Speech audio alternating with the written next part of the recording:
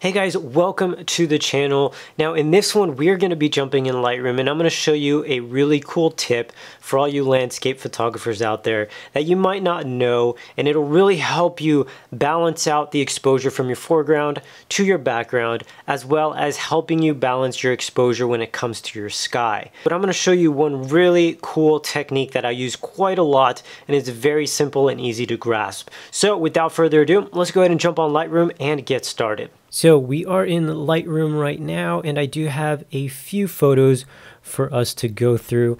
Each, I'm going to give you a different example on each. Um, for this first one, I'm going to show you this tool called the graduated filter. Now I'm just going to select it and then I'm going to go ahead and click hold and drag down and you can see that it does bring up three lines and this kind of uh, represents how heavy our feathering is going to be between each line. I'll show you what I mean in a second. Say right there, deselect that. Now it's hard to visually see what's going to be affected here, but if we come down here and we check show selected mask layer, you can see that it shows us in this red hue how our image is going to be affected and where the changes are going to mainly take place.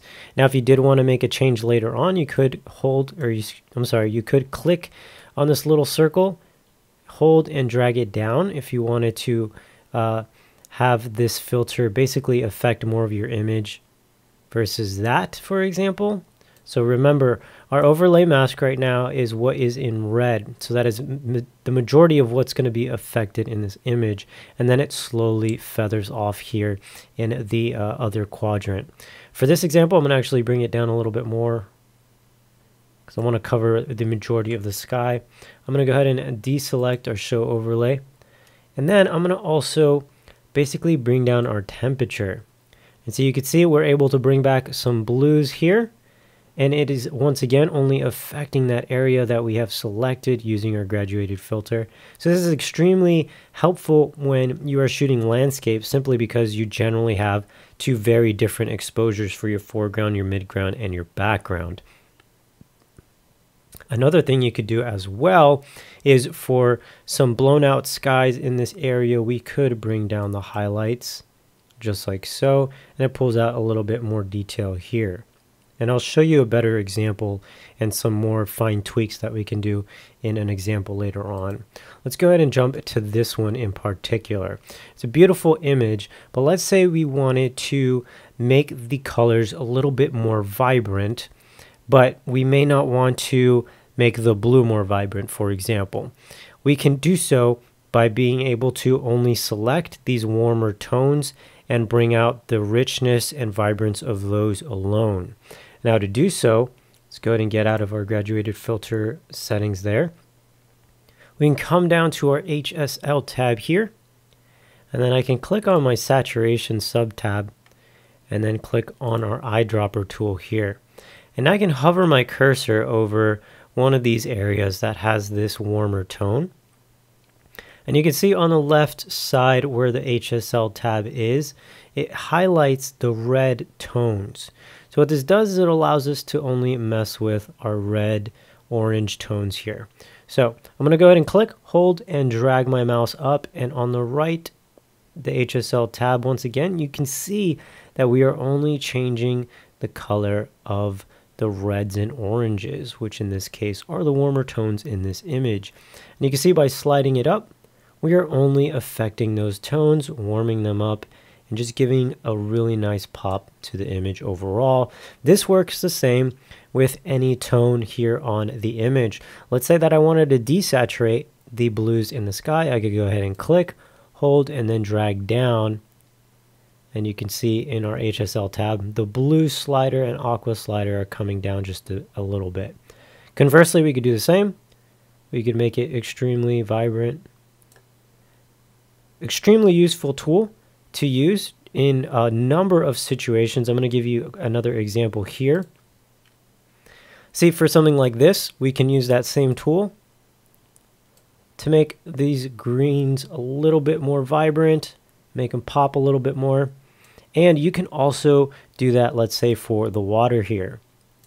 Make it a little deeper blue. And Also, you can change the hue. Don't forget, we have a couple of options here, your luminance, your saturation, and your hue.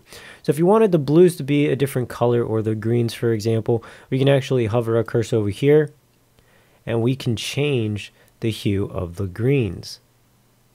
Opens up a wide range of opportunity and really can help make your images pop. Now another example that I wanted to give you up here though is with our graduated filter. As you can see, it is quite blown out on this side, completely overexposed.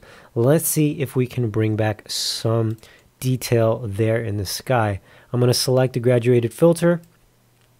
I'm going to click hold and we're going to kind of make our mask here. I'm going to bring it pretty far down. There we go. Once again, let's go ahead and see what is being affected. And you can already see actually there is a lot of data here that we can still pull out simply by selecting the show selected mask overlay. Now let's go ahead and deselect that. And from here, there's a couple of things we can do to bring back some detail in the sky.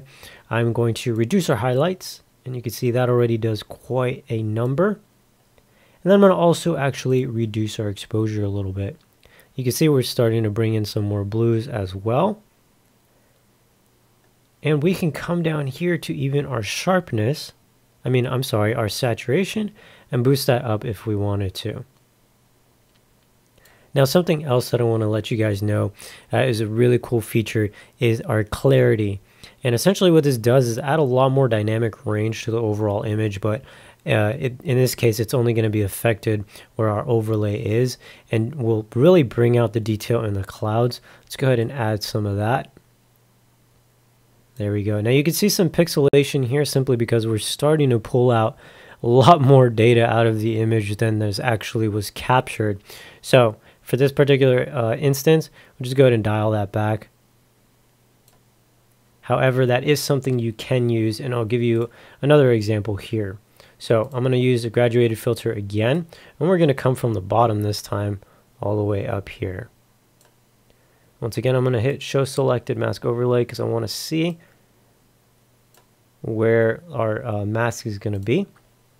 And once again, we can go back to our clarity slider, boost that up, and you can see we pulled out a lot of detail here in the rocks and some in the water, like there is before and there is after.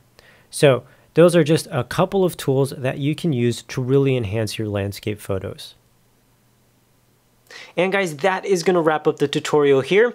I hope you enjoyed it. If you did, please be sure to give it a thumbs up. It really does help our channel continue to grow. And if you're not already subscribed, be sure to do that and hit that bell notification. We have fresh content coming out for you every single week. And also, don't forget over at viewbug.com, we have some really awesome contests going on that you guys can enter your photos in to for a chance to win some really awesome prizes. Not to mention, you could potentially gain exposure worldwide, which is a huge plus. So if you're interested in learning more about that, there will be a link down below. Go ahead and check it out. Now with that said, guys, thanks for watching, and I will see you all in the next one.